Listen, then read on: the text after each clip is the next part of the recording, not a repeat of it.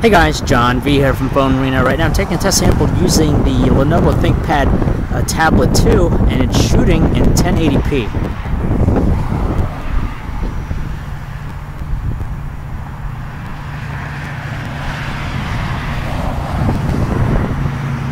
Now it does offer continuous autofocus. I'm going to quickly demo that here for you.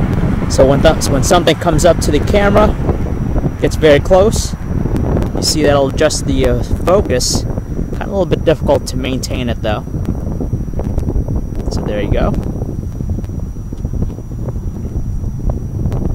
And that's the quality with the Lenovo ThinkPad Tablet 2.